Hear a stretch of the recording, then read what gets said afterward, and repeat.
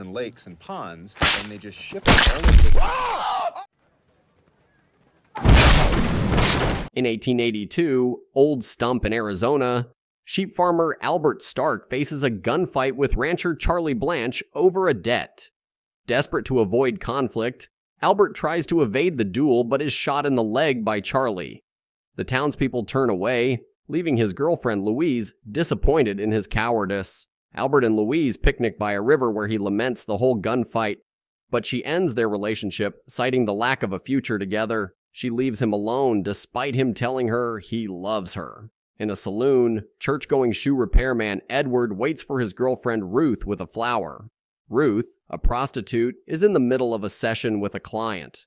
The brothel's manager, Millie, questions Edward about his feelings, but he remains steadfast in his love for Ruth. Ruth eventually joins Edward downstairs, but Millie informs her that she must return for another appointment, much to Edward's discomfort. That night at the saloon, Albert joins Edward and Ruth, lamenting his loss of Louise. Despite Ruth's attempt to console him, Albert spirals into a rant about the dangers of frontier life. He gets drunk and rides to Louise's home to win her back, but his efforts fail. Outside town, an old man is riding in his carriage with his dog Plugger holding a piece of gold. Their peaceful journey was abruptly interrupted by a group of outlaws led by the infamous Clinch Leatherwood. Despite the old man's protests and his wife Anna's pleas, Clinch insisted on a twisted sense of fairness, instructing the old man to draw his gun for a duel. The old man does so, and Clinch says they will shoot on three. Clinch shoots on two and kills the old man, despite the protests of his wife, Anna Barnes. Clinch dismisses her and grabs the old man's map to Old Stump. The outlaws split up, and Anna beckons the old man's dog to follow her. Edward comes over to Albert's home and they walk to see the ice being delivered from Boston. They then spot Louise out with her new man, a wealthy and mustachioed businessman named Foy. Despite his anger, they proceed to observe the massive block of ice being delivered.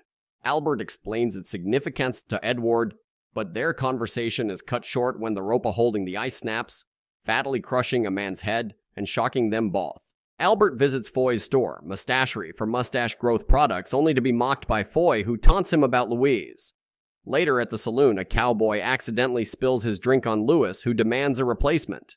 When the cowboy defies him by putting out his cigar in the drink, Lewis shoots him, triggering a chaotic brawl. Amidst the violence, Albert and Edward pretend to fight, avoiding being targeted while the brawl escalates around them. Albert sees two men almost fall over on top of Anna, who was pouring herself a drink, but he jumps in and saves her. He takes her out of the saloon and walks with her. They sit by a cliff as she rolls him a cigarette. Albert confides in Anna about his troubles with Louise, while Anna reassures him believing he's a good man. As they chat, a diamondback snake passes by and they freeze to avoid provoking it. After the snake leaves, Anna suggests to Albert that they attend the fair together over the weekend to make Louise jealous. On the day of the fair, Albert and Anna stroll together, but Albert points out the potential dangers of the fair. Their concerns are validated when a photographer accidentally sets himself on fire, triggering a deadly shootout that kills the visitors. Amidst the chaos, Albert and Anna encounter Louise and Foy. After some tense exchanges, Albert challenges Foy to a shooting contest for money. They play a very racist shooting game called Runaway Slave. Foy shoots six targets with six shots. He excels while Albert fails miserably. Anna then steps in to make the challenge more interesting. She opts to go as fast as the game can go so Foy can give Albert a dollar. She tells the operator to go at the fastest speed and hits every target. Surprisingly, Anna proves to be an expert marksman and wins a dollar from Foy. He again continues to mock Albert, so he challenges him to a gun duel the next day. Foy accepts, but Albert immediately regrets the decision. Anna takes it upon herself to teach Albert how to shoot properly by setting up tin cans as targets, but he cannot hit a single target. With time and practice, he gradually improves. Anna rewards his progress with a pot cookie, which Albert hesitantly accepts despite his aversion to drugs. As they watch the sunset together, they both become intoxicated. Meanwhile, the sheriff delivers Lewis his nightly meal, but is overpowered and killed by Lewis in his cell. With the sheriff out of the way, Lewis seizes the opportunity to escape. At the barn dance on the eve of the gunfight, Anna wears an outfit accentuating her posterior. Spotting Foy and Louise together again, tensions rise just before the sweethearts dance.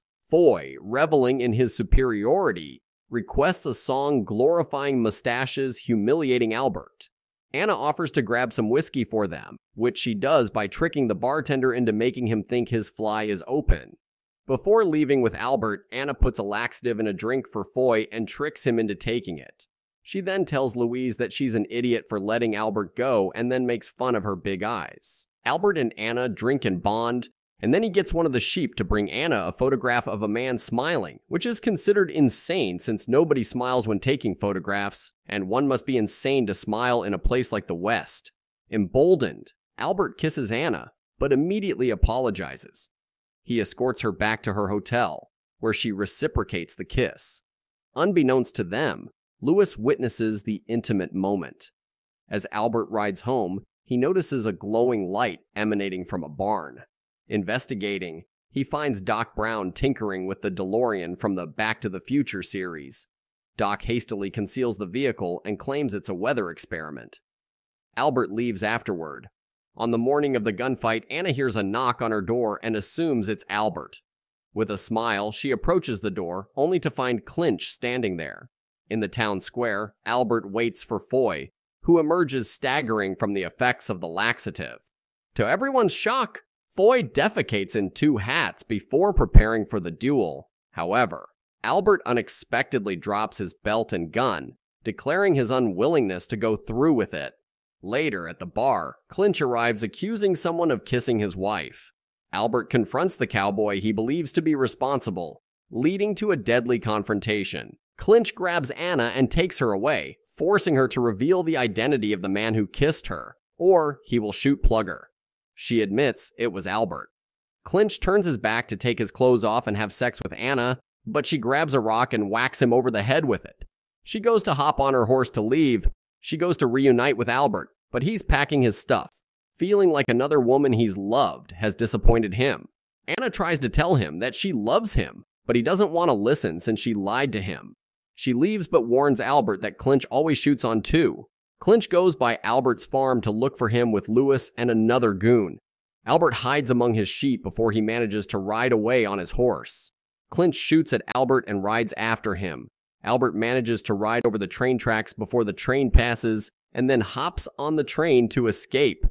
He takes the horse far away before a rock is thrown at his head and he is knocked unconscious. Edward and Ruth, fearing for their safety in Clinch's presence, decide to consummate their relationship.